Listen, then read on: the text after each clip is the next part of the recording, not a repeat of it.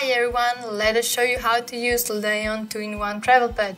Inside the pillow you will find the air pad. Open the zipper, take the air pad out. Open the gap. Be sure that inside bag is in the place. Blow inside and close it. The inflation will be easier if you will fill up the balloon up to the maximum potential now you just simply squeeze it and the air will move forward into the pad.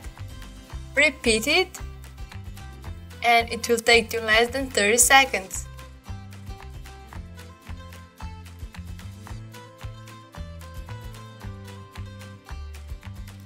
Fold it up to the white line.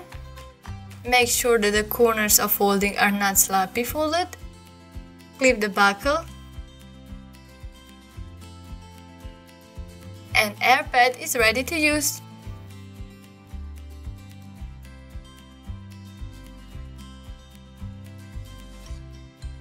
To release the air, just open the buckle